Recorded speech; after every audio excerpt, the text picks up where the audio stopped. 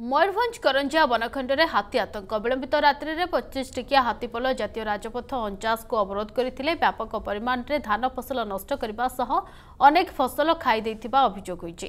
କରଞ୍ଜିଆ ସକ୍ରୁଳି ପରେ ଦୁଧିଆଣି ରେଞ୍ଜ ଅଧୀନରେ ଥିବା ମତା ଜଙ୍ଗଲରେ ହାତୀପଲ ଥିବାର ସୂଚନା ଦେଇଛନ୍ତି କରଞ୍ଜିଆ ରେଞ୍ଜ ଅଫିସର।